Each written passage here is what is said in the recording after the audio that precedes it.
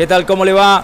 Vamos a mostrar la final femenina eh, de este torneo clausura que se jugó en la cancha de Central Norte entre Atlético Tucumán y San Jorge. Y ahí está el 1 a 0 para las chicas de San Jorge a través de Andrea Lazarte. Pero en el segundo tiempo, Daniela Escacena va a empatar para Atlético Tucumán. Y así va a finalizar el partido en los 90 reglamentarios. Por eso se definió todo a través de los penales, donde en una situación fortuita la arquera de San Jorge se va a destacar, va a atajar dos penales importantes. Aquí primero la Raona, Adriana Larraona se queda con el disparo, ejecuta Escacena y Paola Nieto alcanza la posibilidad de atajar.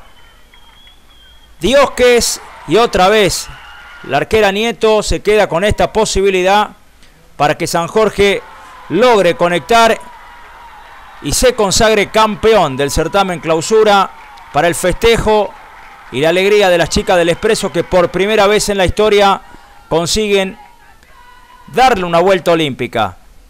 Vamos a ver la premiación. Primero las jugadoras de Atlético Tucumán recibiendo las medallas y el trofeo que les debían, ¿no? Del torneo Apertura.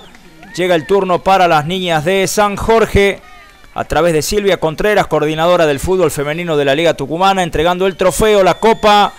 Habrá revancha, habrá final absoluta entre las dos ganadoras entonces el próximo fin de semana. Venimos de hace tiempo ya intentando, intentando y al fin logramos conseguir el triunfo, ¿no? Y el objetivo es salir campeón. ¿Por qué pensás que son las campeonas hoy?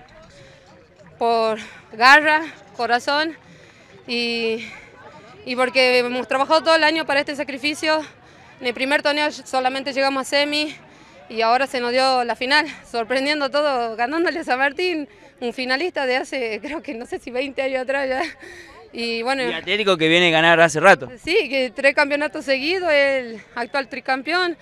Y, no sé, corazón, más que otra cosa, creo que lo hemos ganado por dedicación y bueno, mucho esfuerzo de nosotros.